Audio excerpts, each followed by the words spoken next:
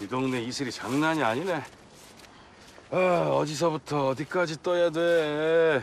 이게 도로가 좁아서 공간이 안 날 것 같긴 한데 그래도 일단 뜨죠. 빨리 해서 이슬 내리기 전에 끝내버리죠. 그 여기다 칠까요? 어? 임선여 경장아, 예. 과수팀 몇 년 차인데 아, 계획을 세워야지 계획을. 후다닥 하다가 시로라기 하나도 빼먹어서 범인 놓치면 네가 책임질래? 에헤이 황초 경님 뭘 또 책임을 지래 뱃속에 희망이 든는데 에이 선녀 축하해요 괜찮습니다. 하경이니 퉁박이 희망이 자장갑니다. 사채 백골이라면서요. 계획까지 세워서 주변문까지 다 떠야 돼요. 어, 이게 백골은 백골인데 예.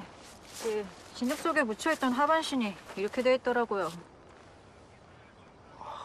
발을 다 쌓아놨어. 발을 이렇게 쌓아놨대.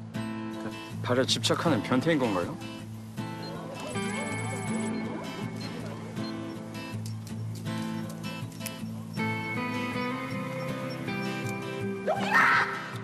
동식아, 아니 우리 동식이 아니에요. 우리 동식이 아니라니까요.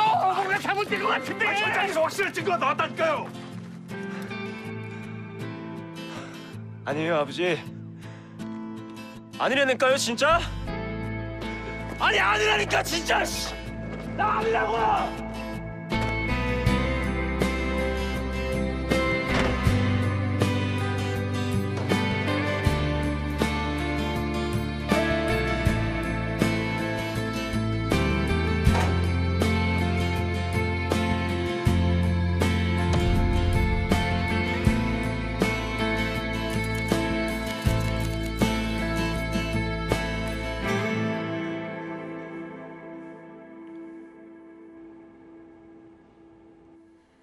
이렇게까지 하는 이유가 뭡니까?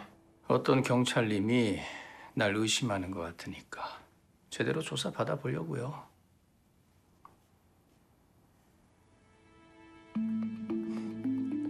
내가 그렇게 좋아요? 내 뒷조사도 하시고 뒷조사는 무슨 이경사님 용의자였던 거 다들 알던데 다들?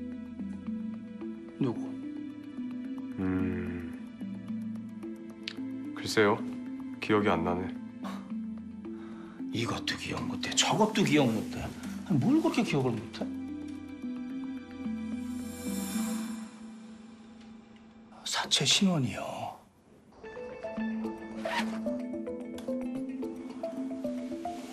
내가 아직도 답을 못 들었네.